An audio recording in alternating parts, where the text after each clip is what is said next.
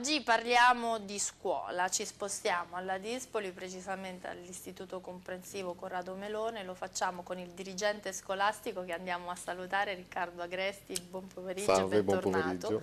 E con un genitore, andiamo a salutare Fabio Rigucci, Buonasera. buon pomeriggio. Buon pomeriggio. Preside, come sempre una Corrado Melone che eh, si rimbocca le maniche 365 giorni all'anno, sono veramente numerose le iniziative che vedono coinvolti docenti, ragazzi e anche i genitori, addirittura tantissimi gemellaggi messi, messi in piedi e fra poco ne parte uno anche oltreoceano. Sì, esatto.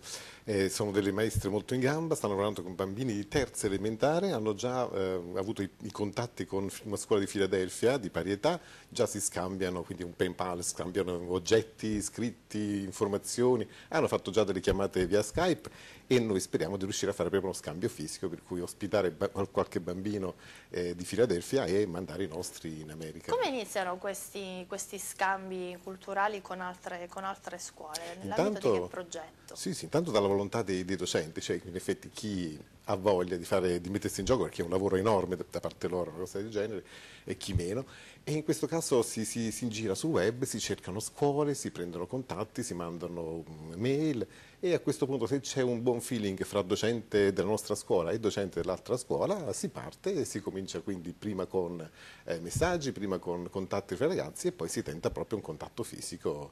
E noi già lo stiamo facendo da, da anni con Olanda e, e Francia, abbiamo iniziato con la Germania quattro anni fa, quest'anno partiremo con la Spagna e abbiamo adesso questo, questa cosa eccitante del contatto con una scuola di Filadelfia.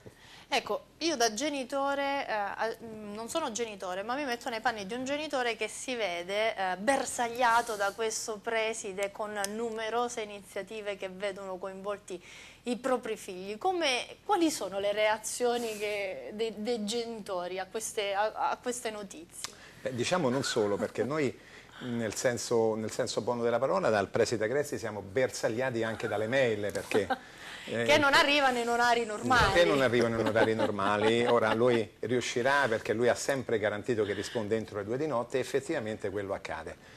E, diciamo per quanto mi riguarda proprio questa dinamicità del nostro preside perlomeno ha veicolato le mie scelte verso la Meloni, io ho un figlio che frequenta la prima, la prima media, e viene peraltro da un altro istituto che già negli ultimi due anni era un istituto che vedeva come reggente il preside Agressi. Noi come la prendiamo? Perlomeno, ripeto, per quello che mi riguarda la prendo in modo mm, estremamente positivo perché ci sono mille iniziative che quindi vanno a soddisfare mh, mm, tutte le necessità e tutte le, le, le le preferenze o le, le, le, tutto ciò che un ragazzo può desiderare, dal, dal profilo sportivo al profilo didattico. Mm, eh, Riccardo tiene aperta, mm, o meglio, a considerazione di tutti i suggerimenti e di tutte le opportunità che le vengono proposte. Mm, solo a titolo eh, esemplificativo posso dire che fra le mille iniziative che Riccardo ha proposto e che trovano poi che si concretizzano ce ne saranno alcune adesso anche perché ospiteremo degli attori, ospiteremo dei ballerini famosi della RAI, ospiteremo proprio per proporre, anzi ne parlavo proprio ieri, cercheremo di, di fare anche dei progetti di varie discipline sportive come la scherma, come il pugilato, per cui che le dico? Eh, da quello io all'inizio dell'anno come dire, non credevo neanche che si potesse arrivare a tanto, ma è impegnato 24 ore su 24 per la scuola e questo non può che far piacere. Il problema, il problema è che purtroppo eh, siamo limitati, siamo limitati noi come genitori nella collaborazione con la scuola e lui come dirigente di una scuola a causa delle scarse risorse che ormai oggi arrivano nelle eh scuole. Sì. Tutto quello che si può fare io credo che si faccia. Noi adesso offriamo una collaborazione, evidenziamo anche delle criticità perché io spesso scrivo a Riccardo su, mm, su, vari argomenti dove non trovo chiare delle cose oppure ho dei dubbi e lui risponde sempre in modo, eh, in modo obiettivo perché devo riconoscerle anche questo. Lui a torto o a ragione, insomma, lui risponde alle mail e si assume le responsabilità sempre di ciò che fa. Poi diciamo, ecco appunto, la trasparenza può essere anche, anzi sicuramente è uno dei, dei privilegi di, di, questa scuola del, del dirigente, perché nella buona o nella cattiva sorte qualsiasi cosa accada all'interno della Corrado Melone che può essere anche oggetto di uh, articoli di giornale piuttosto che di servizi, c'è sempre dall'altra parte chi è pronto ad assumersi le proprie responsabilità e a raccontare che cosa è accaduto. Non, non ci si nasconde dietro a un no comment oppure non lo so.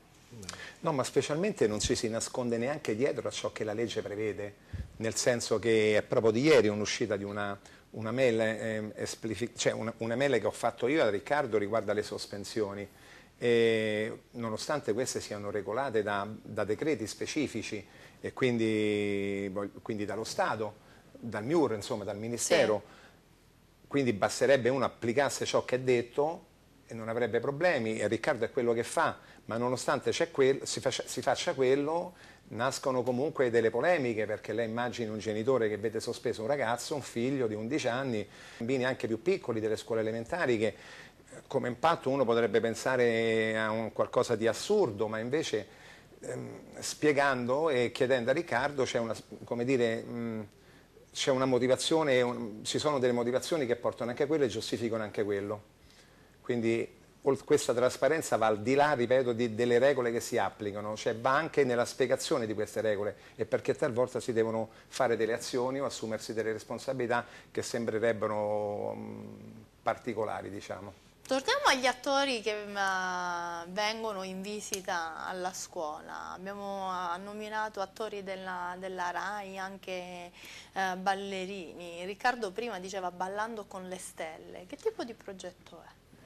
Ma eh, diciamo questo qui è uno degli ultimi progetti o comunque una delle ultime aspirazioni, nel senso che mh, collaborando, ecco, cercando di collaborare con la scuola e avendo la possibilità di venire in contatto con alcuni personaggi e cercheremo magari di, di, far venire nella scuola perché già ci hanno dato la loro adesione praticamente.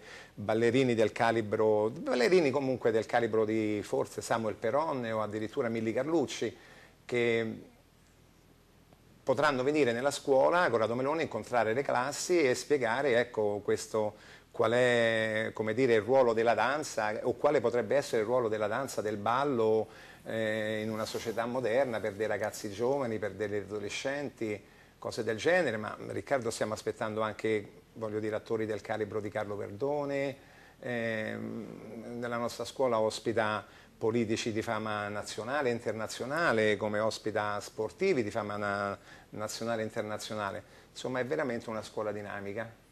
Ecco, i ragazzi che cosa dicono alla vista di, di tutte queste celebrità che passano tra, Beh, tra le um... aule? Quali sono le domande che oh, spesso vengono fatte dai bambini? Le domande sono incredibili e, e sono incredibili soprattutto per la loro intelligenza e la profondità. Eh, ne tiro una fuori a caso perché ce ne sono tantissime tutte veramente molto profonde. Quando è venuto Caspar Capparoni a scuola, una ragazza le ha chiesto: Ma scusi, è importante la bellezza per un attore per fare carriera? La, la, risposta è stata molto carina, eh, la possiamo immaginare, o meglio, certe cose non sono state dette lì perché poi lasciamo perdere, però ha detto delle cose molto giuste che, che che è l'intelligenza quella che copre poi la bellezza, una può essere bellissima, poi se non è in grado di trasmettere emozioni, per un attore questo è importantissimo, non, non, non, non si annulla con la, con la semplice bellezza.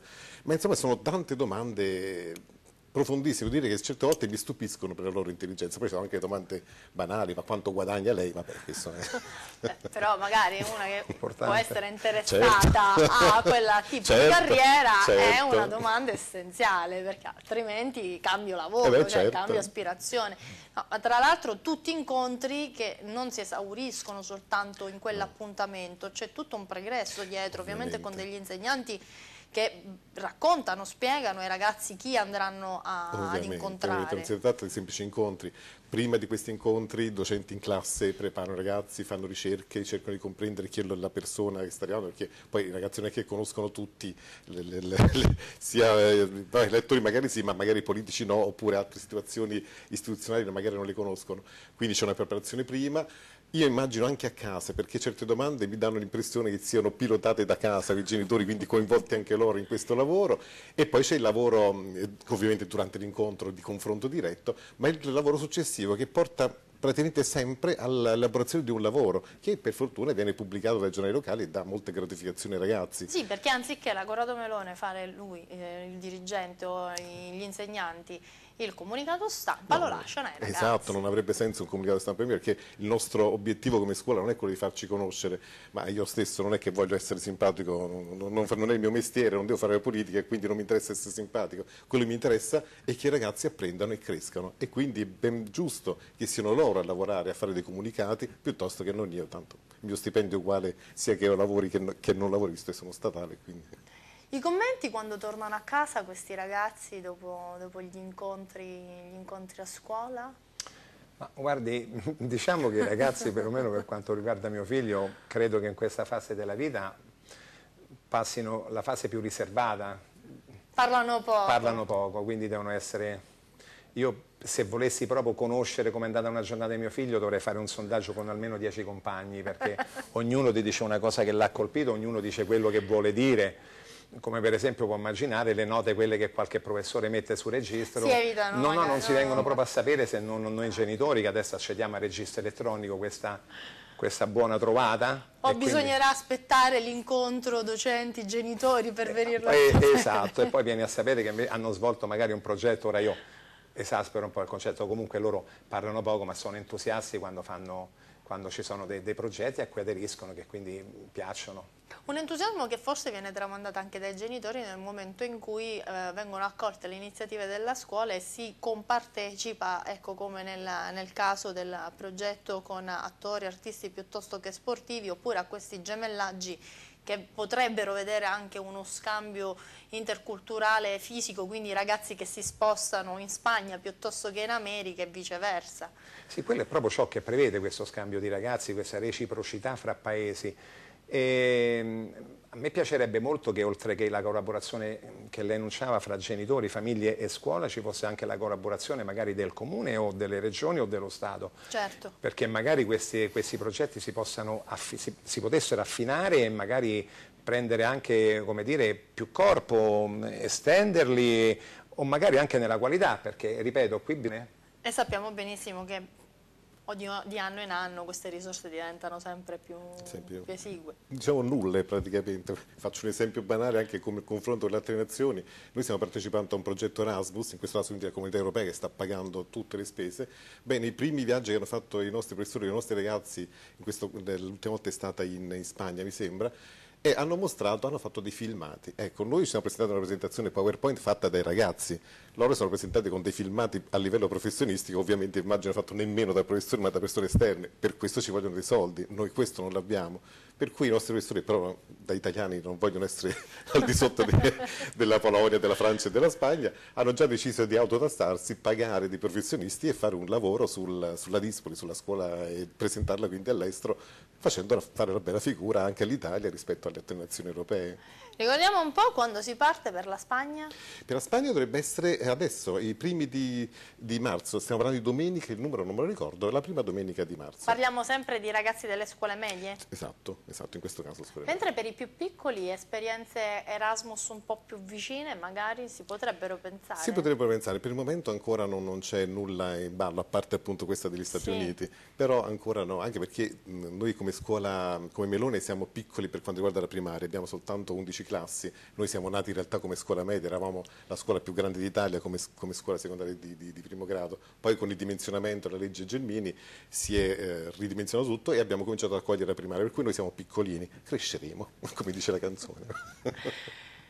Prego, volevi dire qualcosa? No, no, io volevo solo dire, no, ora, eh, sorridevo perché mh, io ho partecipato per anni, sono stato un membro del Consiglio d'Istituto e quando si parlava di gite scolastiche per i bambini, quelli piccoli delle elementari, io ero sempre uno di quelli che votavo di no, perché l'apprensione da genitore non riuscivo a immaginare mio figlio andare oltre una giornata, oltre una giornata e oltre 50 km, avevo proprio stabilito io quello, dico, nella mia mente poi, dico oltre 50 km non mi sembra opportuno che i bambini piccoli vadano.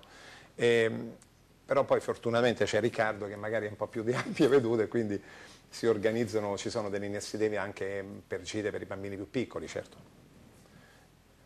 Non all'estero perché è un pochino esagerato, ma chissà un domani.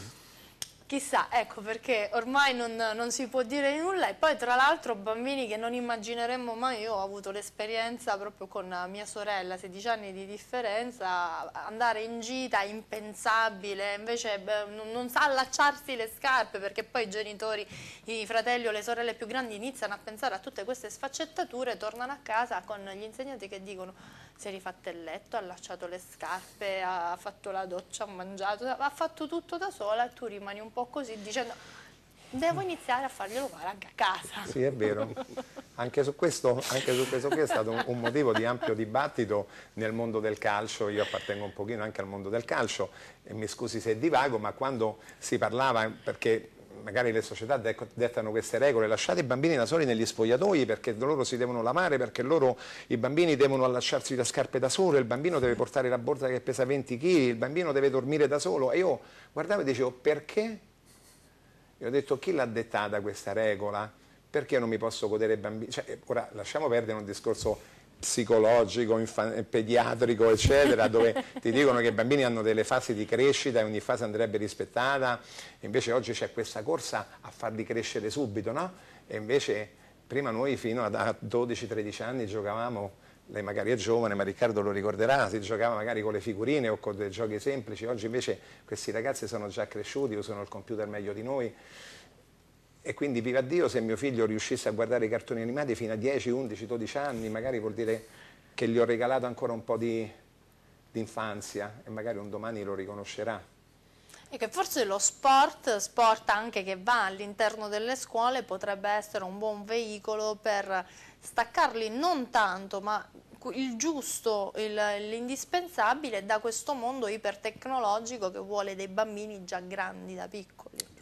Sì, esattamente, sarebbe bene, però quello ritorniamo sempre a questo serpente che si mangia la coda, sì. a questi fondi che non ci sono, eh sì. quindi praticamente le scuole, le palestre di, di parecchie scuole la mattina sono occupate dai ragazzi della scuola, il pomeriggio, il pomeriggio sono occupate dalle associazioni sì. sportive, la sera sono occupati da degli altri progetti di ragazzi magari disabili, cioè lei immagini queste cose che potrebbero eh essere bellissime invece si devono rivolgere a delle strutture dividendole, quindi con, con scarse peculiarità e attitudini per quell'attività piuttosto che per un'altra. Però che le devo dire, purtroppo oggi sembra che non si possa fare a meno perché lo Stato però questo è un discorso politico e non credo che oggi possa no, essere affrontato. No. Rimaniamo, alla, rimaniamo alla scuola e alla, ai progetti che nonostante tutto si riescono a portare avanti a sostegno di questi ragazzi che ricordiamoli poi saranno il nostro futuro, certo. magari saranno i politici di, di domani. E quindi magari non come quelli di oggi. Non come, speriamo non come quelli di oggi, ma che riusciranno a portare sicuramente maggiore sensibilità Senza. anche in uh, questi settori. Io vi ringrazio per essere stati miei ospiti, spero Grazie di rivedervi presto, anche perché no, a parlare di sport. La ringrazio molto, volentieri. Ancora grazie, invece a quei telespettatori ci vediamo subito dopo la sigla.